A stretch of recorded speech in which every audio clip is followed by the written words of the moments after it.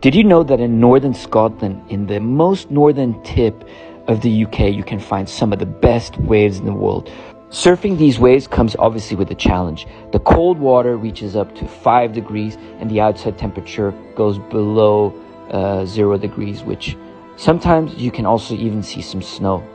Wetsuits, you have to surf with full armor. A full wetsuit, 5 4 millimeters with gloves, hoodie, boots is absolutely required the remoteness of the place is is a challenge as well.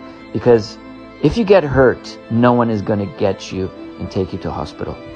But besides all these challenges scotland is one of the best unknown locations with some of the best waves in the world. Worth the check